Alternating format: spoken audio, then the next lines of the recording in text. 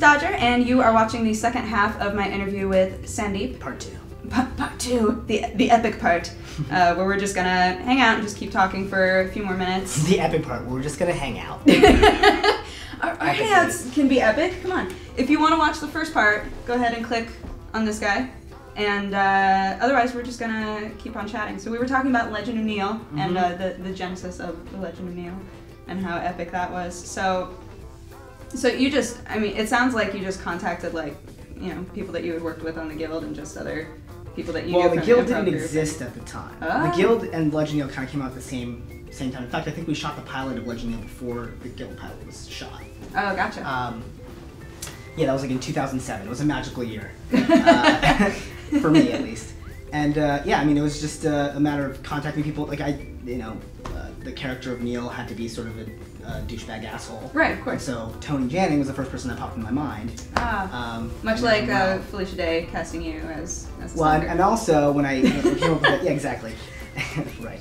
Um, and you know, when I was thinking of a, a good foul mouth fairy, I mean, there was no other person in my mind besides besides Felicia. Felicia. that makes sense. um, what a lot of people don't know about her, uh, and she hates when I say this in interviews. I was gonna say, are you gonna get in trouble for this? Because Um, I, I mean, nah, whatever. She um, is hilarious, Mm-hmm. like and and kind of can be hilariously dirty, and it's it's obviously evident when you see Legend of Neil. Right. But that's kind of like how I knew her when when we were improvising on stage. It was, um, you know, this adorable. Uh, you know, redheaded girl who would come on stage and be the foulest mouth person on the planet, and it was so funny.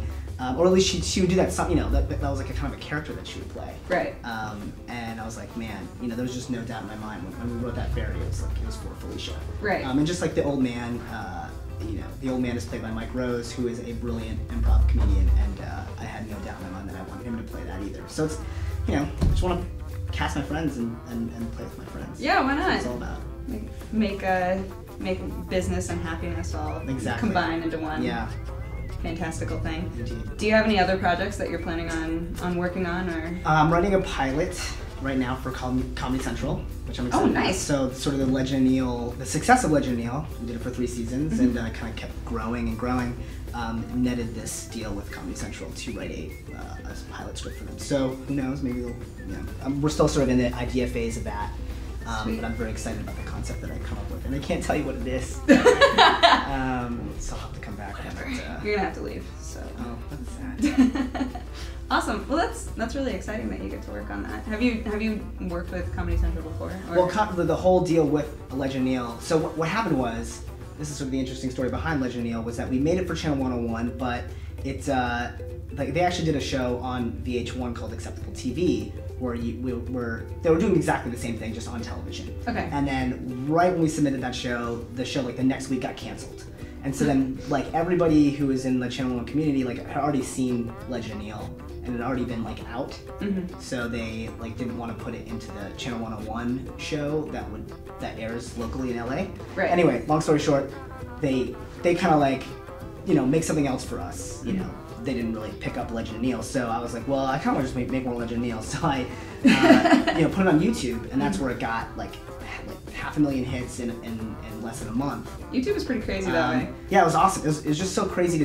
That was the first time I really experienced the viral process. You know, Mm-hmm. it was it was. Uh, you know, just my inbox just completely exploding, and I'm like, what the hell is going on? Like I thought at first I thought someone like hacked my account, and was Right. just sending me spam, and then I was like, wait, these are from YouTube, and these are people liking my show. It was very, it was like such an awesome night. As Yeah. I just watched my inbox just get torched. Uh, so, you know, I basically went, you know, when we got those half a million views, um, I was like, well, I think we can take this around and sell this thing. And so it was really the, it was really showed the power of the internet. I mean, when I, I had an agent at the time at William Morris, and uh, you know, I went around with my first show, which was this independent television pilot that I shot on my set, on my own, which is about superheroes and whatever. Um, Nice. Fun show called The Good Guys. Uh, and uh, that, you know, I went around to all the traditional media outlets trying to sell the show, and everybody's like, "Oh, this is cute, but not, you know, not really for us." And you know, um, we don't think that superheroes on TV. It's too high concept. And then, like, lo and behold, Heroes comes out later or whatever. Yeah, I was just gonna Um, say. so it's kind of like, okay, fine. They all said no to it, and, and it was also my first project, my first time pitching.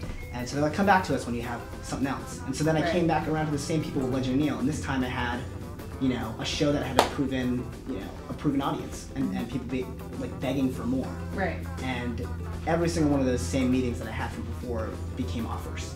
I mean, I literally was four for four. Walked into four meetings, walked out with four offers. That's so Um, crazy. And I think it was truly the power of being able to say, like, hey, look, this sh- I can make this without you. I don't need you. Right. So, do you want to come in and fund it and make it even better, and then I can make it on my own? Then great.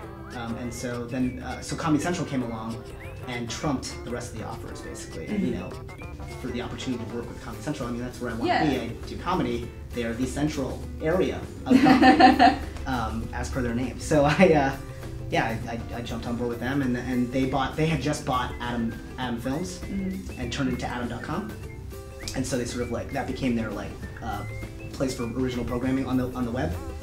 And uh, I worked, I started working with all the Atom folks, and they're all great, and you know, we Nice. just did season after season, and so it's the, it's been the longest running, uh, most watched, most successful show for Comedy Central online. Yes. Fist bump. Um, That's fantastic. Um, as a final question, what is your favorite color?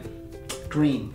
Yes! Really? Yes! guess right? That's your favorite color? That's my favorite color. Color of the heart. I'm so excited Color about of the heart. That's fantastic. Yeah, it is. Guy behind the camera that looks skeptical. It's the color of the heart. If you know anything about Indian chakras, it's, it's the heart. The heart center is green. So there, sir, and whatnot.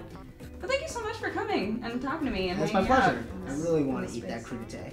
That's back there. Um, I'm really sad that you didn't just have it with you I wanted to have it on my lap the whole time, but the, um, the entire time. some jerk wouldn't let me. some some guy behind Oh, the they're camera it. was They're really- ringing it. Oh oh oh oh Mm. yes! Oh God! Don't spill it. Now I'm happy. Let's do the interview over again. Okay. So hey, how's it going? Well, um, mouthful. Uh oh. Oh no, oh no. I feel like this is counterproductive. Okay. Okay.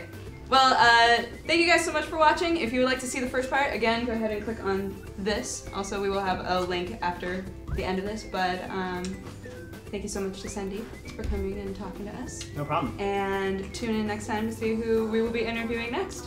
So. Thanks for the carrots.